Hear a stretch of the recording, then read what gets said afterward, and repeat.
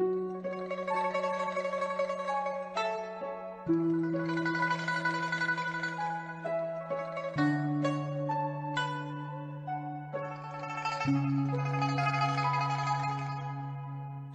chào các quý thính giả đã đến với chương trình audio Lắng động đêm về của Đài Kỷ Nguyên, phát sóng vào 21 giờ hàng ngày.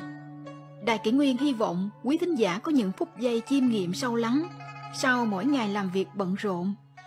Hôm nay, chúng tôi xin gửi đến các bạn thính giả câu chuyện Anh hùng thủy hữu lâm sung phần 2 gian tà hãm hại không ngăn nổi trái tim chính nghĩa hướng về lương sơn. Trong gió tuyết trắng xóa thế gian mịt mù trời đất lâm sung đã diễn vở kịch lớn nhất đời mình. Từ đây về sau bức tranh đầu đội mũ dạ có tua hồng giáo hoa treo hồ lô rượu một mình lầm lũi đi trong gió tuyết đã trở thành hình tượng điển hình của lâm Xung, khắc sâu trong lòng độc giả hậu thế Lưu Trường Khanh, nhà thơ nổi tiếng thời đường, từng viết một bài thơ có tên là Phùng tuyết túc phù dung, sơn chủ nhân, trong đó vẽ nên bức tranh tuyết mênh mông, ý tứ sâu xa. Nhật mộ thương sơn viễn, thiên hàng bạch ốc bần, sài môn vân khuyển phệ, phong tuyết dạ quy nhân. Dịch nghĩa, chiều tối núi xanh thẳm phía xa, Trời lạnh nhà tranh bạc trắng nghèo khó. Cửa xài nghe chó sủa. Đêm gió tuyết người về. Dịch thơ Hoàng hôn thâm thẳm núi xanh. Bầu không giá lạnh mái tranh nghèo nàn. Cửa xài chó sủa râm ran. Nửa đêm gió tuyết cả gan người về Cảnh trong tranh này làm người ta nhớ đến một câu chuyện kinh điển Nhớ đến một người trong thủy hử có hai cảnh tuyết lớn ngập trời, đều là dành riêng cho Lâm Xung. Lâm giáo đầu phong tuyết sơn, thần miếu. Lâm Xung tuyết dạ, thượng lương sơn. Bài thơ của Lưu Trường Khanh vừa hay, lại phù hợp với cảnh ấy nhất. Tác giả bài thơ này tự xưng là Bức Trường Thành về thơ ngũ ngôn. Cũng trong tâm trạng bị hãm hại, bị đi lưu đày, nên đã viết ra những câu tuyệt cú này. Lâm Dung cũng là người trầm luân, lưu lạc chân trời, trải qua hành trình từ nhẫn nhục chịu đựng đến thức tỉnh, liên tưởng đến ý tứ bài thơ của Lưu Trường Khanh, càng thấy cảnh Lâm Dung đội tuyết ra đi thật thê lương, hùng tráng, đầy ý thơ hơn mấy phần. Sự tĩnh lặng trước cơn gió tuyết Trước khi đến Thương Châu, Lâm dung và hai công sai đến làm khách ở trang viên của Sài Tiến. Được Sài Tiến tiếp đãi nhiệt tình. Vị Sài Đại quan nhân này là hậu duệ vua nhà Chu, là bậc trượng nghĩa khinh tài, lại có mối thăm giao với quan phủ địa phương. Ông trước nay thích nhất việc đón tiếp giúp đỡ các anh hùng ra cơ lỡ bước, đặc biệt là những phạm nhân như Lâm Xuân phải chịu tội đi đài. Gặp Sài Tiến, hành trình của Lâm Xung như là khổ tận cam lai, cuối cùng có thể nở mày nở mặt được. Trong trang viên, sư phụ của Sài Tiến là Hồng Giáo Đầu, cứ muốn so tài võ nghệ, Lâm Xung thói thác không được, đành phải ứng chiến. Ánh trăng trong trẻo chiếu sáng khắp nơi, hai hảo hán thi triển, long tranh hổ đấu quyết liệt. Hồng Giáo Đầu hùng hổ, như muốn nuốt sống đối thủ. Lâm Dung lặng lẽ, khiêm hòa, trên người mang gông cùm, nên sau bốn năm chiêu tự nhận thua. Sau khi Lâm Dung được tháo gông cùm, Hồng giáo đầu khí thế càng hăng, múa gậy lại đánh tới. Lâm Dung chỉ lùi bước, nhân lúc bộ pháp đối phương đã loạn, liền vung gậy quét ngang tầm thấp, trúng vào ống chân Hồng giáo đầu một chiêu mà chiến thắng.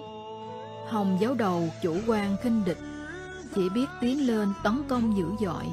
Lâm Xung thì trầm tĩnh, phòng ngự chắc chắn, đợi thời cơ chín mùi, mới vùng lên phản kích, lấy cơ trí thủ thắng. Xem hai người lâm trận ra chiêu, Hồng giáo đầu ra thế, lấy lửa đốt trời. Khi thế ngút trời, nhưng hoa mỹ mà không thực dụng. Nhưng thế vạch cỏ tìm rắn của Lâm Xung ẩn giấu mũi nhọn đúng như tính tình của ông. Không tranh với đời, khiêm tốn đôn hậu. Nếu chẳng phải vì cuộc tỷ thí ngây ngất này, mọi người có lẽ đã quên mất Lâm Dung là một đại anh hùng trí dũng song toàn. Võ trí và võ đức của ông đều là thượng đẳng. Sài tiếng không hổ danh là quý nhân trong mệnh của Lâm Dung Không chỉ hào phóng mở hầu bao, giúp ông mấy chục lạng bạc, còn gửi kèm bức thư đặc biệt cho quan phủ. Bức thư ấy giúp Lâm Xung sẽ sống cuộc sống an nhàn, thoải mái khi lưu đài ở Thương Châu. Đó cũng là điều ông mong đợi. Cẩn thận, dè dặt chịu qua tai ương lao tù này. Nếu có may mắn, đợi được đến lúc đại xá thiên hạ, ông có thể nói lại duyên xưa với Trương Thị, có thể làm người dân thời Thái Bình với thân phận trong sạch. Vào Lao Thành, Lâm Xung với tâm thái yên ổn vô sự, tuân thủ phép tắc sinh tồn của Lao Thành, bỏ tiền lấy lòng các sai dịch, không chỉ tránh khỏi một trăm gậy, sát uy bổng, lại được công việc thanh nhàn nhất là trong coi thiên vương đường. Lâm Dung an lòng theo cảnh ngộ, mỗi ngày chỉ là thắp hương, quét dọn, sống những ngày thuận lòng bình yên. Như vậy được hơn một tháng, Lâm Dung trải qua gia đình ly tán, kiếp nạn sống chết, dường như đã hài lòng với hiện trạng, một hình tượng thần dũng vô song, quyết chí báo quốc, dường như đã dần dần nhạt nhòa đi. Nhưng thiên tinh hạ phàm tất có sứ mệnh, anh hùng ẩn mình đợi thời bay lên. An nhàn nơi đây chẳng qua vốn chỉ giống như nơi chốn dưỡng thương mà thôi.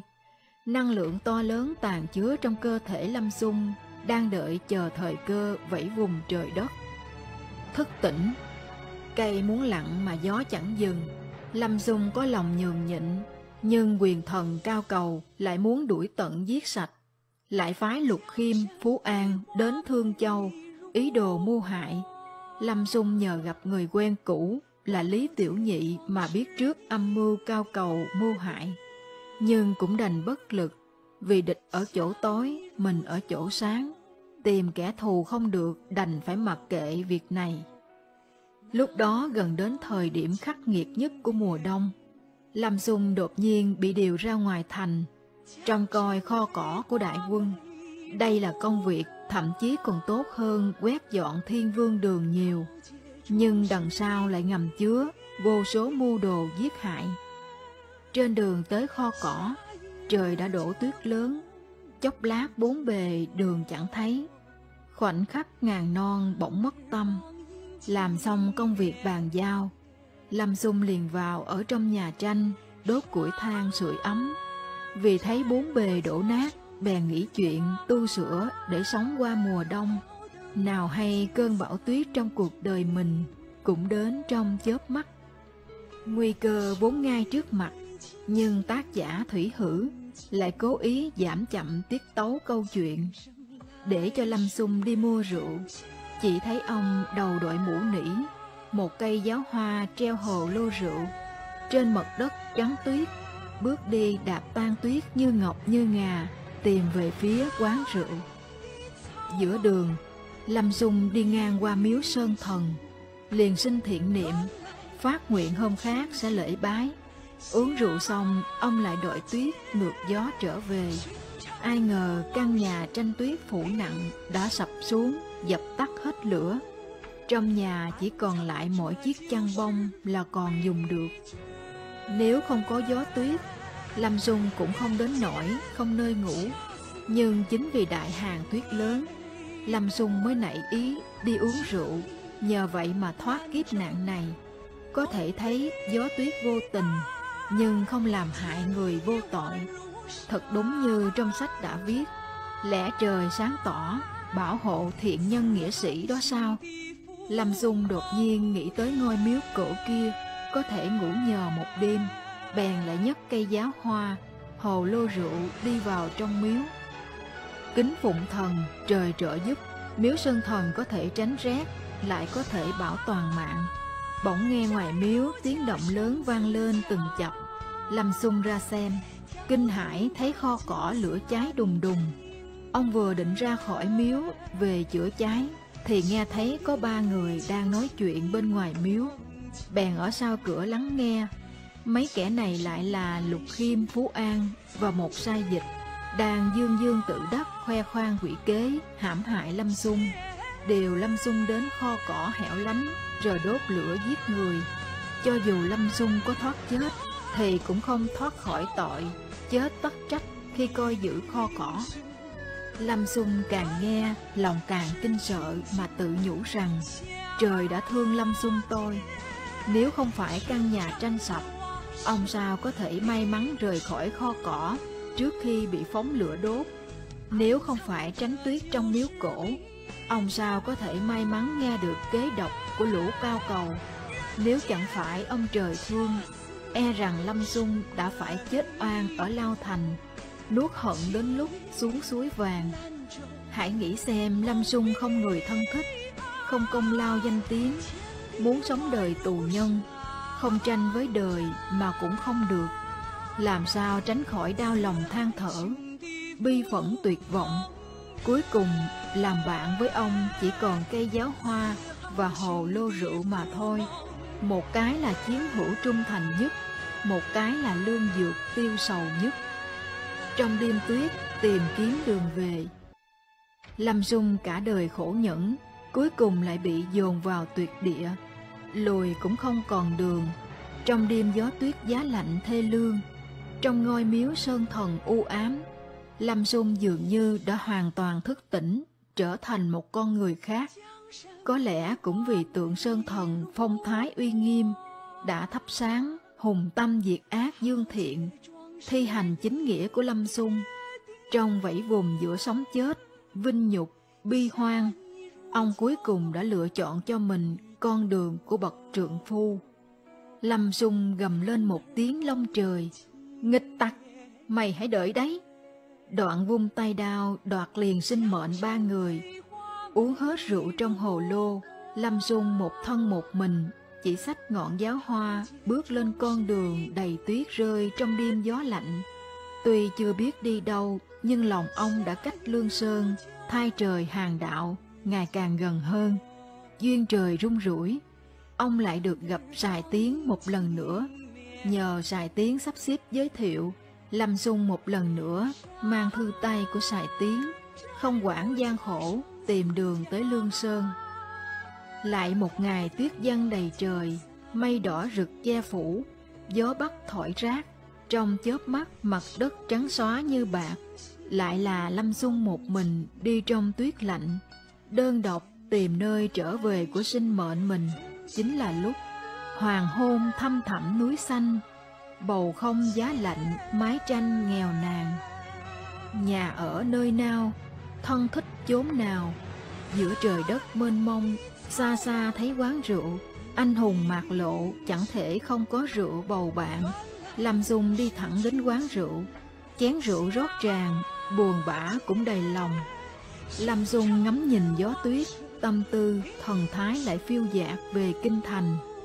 Chỉ vì gian thần hãm hại, hảo hán Lâm Dung rơi vào cảnh có nhà mà không về được, có nước mà không báo đáp được, hỏng phí một đời, Rốt cuộc là đạo lý gì? Thế gian còn có ngày đợi ông rửa sạch an tình, làm lại sự nghiệp hay chăng? Nhân lúc tự hứng, Lâm Xung mượn bút nghiêng, trên bức tường đề thư trách lòng, tự hỏi tự đáp. Trượng nghĩa thị Lâm Xung, vi nhân tối phát trung, giang hồ trì dự vọng, kinh quốc hiển anh hùng. Dịch nghĩa Trượng nghĩa là Lâm Xung, là người hết mực, thuần phát trung hậu.